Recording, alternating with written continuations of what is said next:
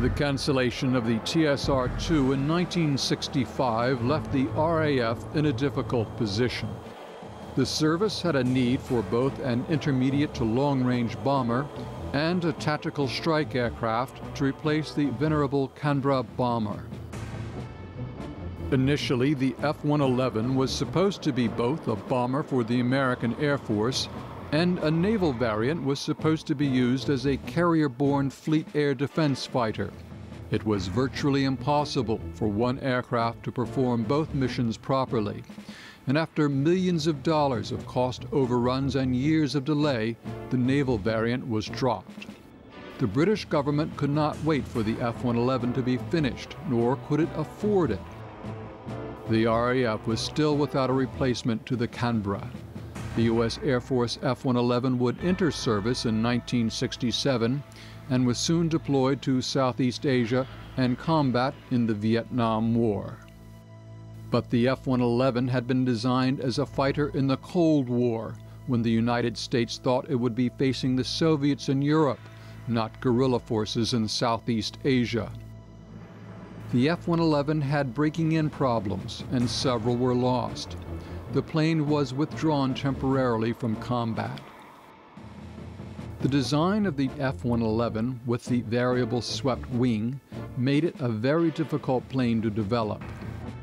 The concept had been around since 1911, and in World War II, German, American, and British engineers looked at the idea, but it was not until after the war did technology begin to make the concept possible. British engineer Barnes Wallis, famous for developing the bouncing bomb of Dambuster fame, was instrumental in developing the swept wing design. Still, by the late 1960s, the British simply could not afford a vast research and development program. The TSR 2 program, even though cancelled, had kept key portions of the British aerospace establishment going.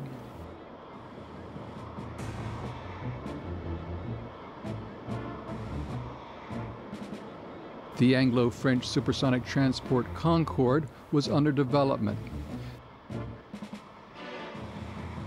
The engine technology began with the British V bomber force, the Victor, Valiant, and Vulcan, which helped get the TSR-2 off the ground and would now help Concorde.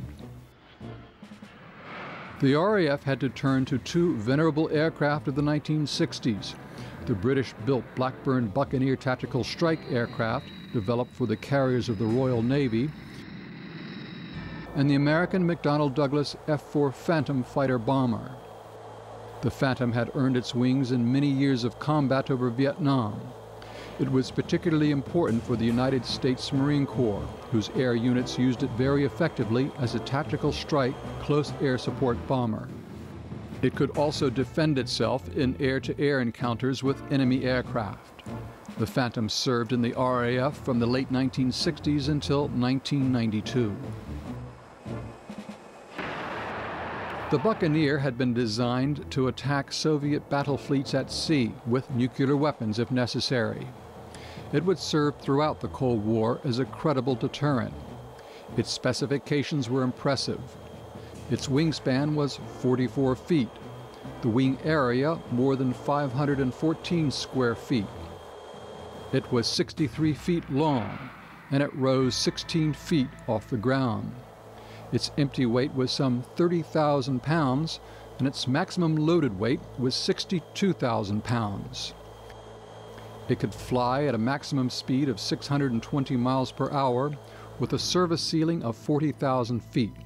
Its typical range was some 2,300 miles. The RAF was initially hesitant to take on a naval aircraft but it had very little choice with the cancellation of the TSR-2. The RAF Buccaneer variant entered service in 1969. Its solid performance earned the respect of the Air Force. While designed for the Navy, it actually saw longer service in the RAF, as the last conventional British carrier was withdrawn from service in 1978. The naval buccaneers now literally had no place to land and they were withdrawn from naval service. For most of its long service, the Buccaneer saw no combat except for a handful of Buccaneers in the South African Air Force. It got its chance under British colors in the first Gulf War to show it was a true warbird. It was used very effectively as an electronics warfare aircraft, designating targets for RAF Tornados. It also had an opportunity to drop its own bombs. However effective the Buccaneer was in the Gulf, the airframe and design was aging, and the aircraft was retired by the mid 1990s.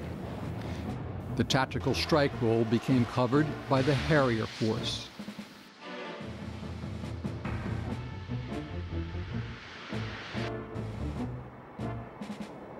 Had the TSR-2 been built, it probably would still be in service today, most likely as a firing platform for cruise missiles and precision-guided bombs.